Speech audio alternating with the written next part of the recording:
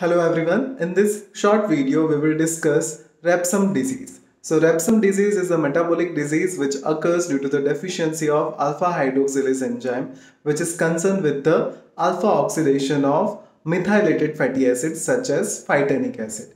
As there is a deficiency of alpha hydroxylase enzyme so there will be accumulation of phytanic acid in various nervous tissue which results in a cerebellar ataxia, there will be the neural deafness, retinitis pigmentosa and other neurological symptoms. Now what is the treatment of Refsum disease? So as this disease occurs due to the accumulation of phytanic acid, so the patient is advised not to take diet which contain phytanic acid such as green leafy vegetables, ruminant milk and meat. So that is all about Refsum disease. Thank you.